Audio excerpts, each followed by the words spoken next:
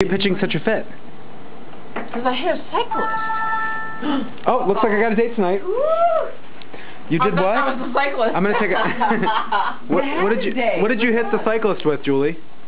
With a cookie. Julie, please. Where are shit ass cookies? That's why. Did you taste one of the shit ass cookies? Ben? Yeah. Ben, are you eating the cookies? She ate them. Let me see the cookie. Hold up the cookie. Oh my god. Is it a gingerbread cookie? That doesn't even smell like it used to be a cookie. It, it was for about 12 minutes. It's a coaster. no, it smells like nothing. It's like a lump of coal. Santa brought you these, didn't he? now you're trying to pan them off as cookies. No, you were a bad boy. So I- Coal somewhere else, coal.